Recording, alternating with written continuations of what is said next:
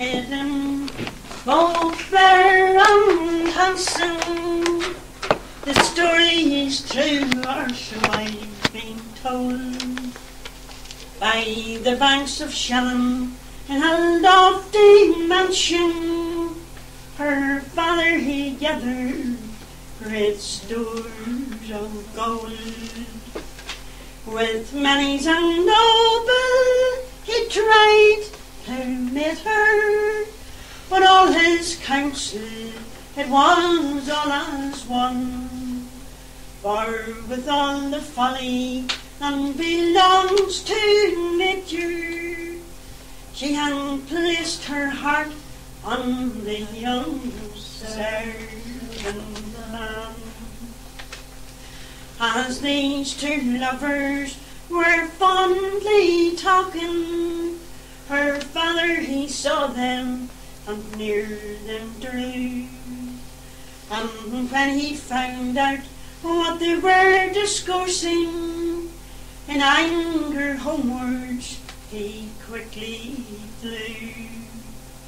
For to build a dungeon was his intention, for to part two lovers he contrived a plan, and he swore and oath by all that's high and holy that he'd part his daughter and the young servant man.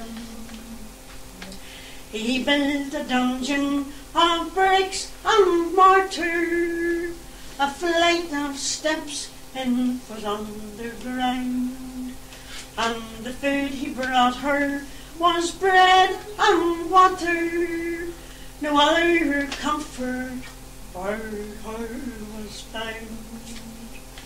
And every day he would sorely beat her until this young maiden then at length began saying, Father, Father, won't you relent now and let me marry my young servant man?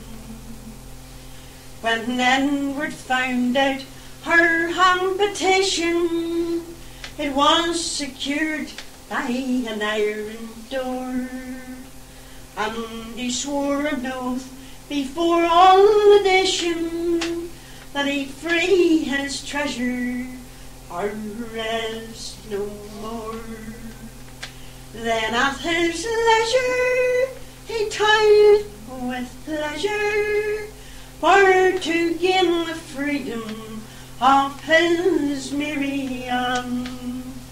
And when at length he had gained his treasure, she says, my faithful young servant man. When Edward he had gained his treasure, he said, I'll be constant to you likewise. And in spite of all, I will face your father to find me here. It will him surprise. When her father brought her the bread and water for to call his daughter, then he thus began, saying, Edward, enter, I've freed your daughter, put all the fault on your young serving man. And the father found out that she had vanished. It's like a lion, he then did roar, saying, From old Ireland you will be banished, and with my sword I'll draw your gore. A green said Edward, I freed your daughter. I'm glad I did it. Now do all you can. One forgive your treasure, and I'll die with pleasure. Put all the fault on your young serving man.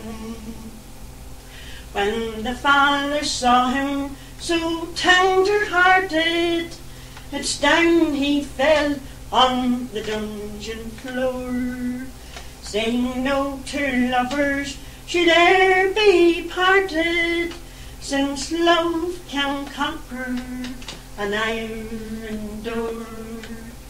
And now they're one to be parted never, and to rolling riches this young couple can. And now this young couple, they are blessed with pleasure. She's contented now with her young self.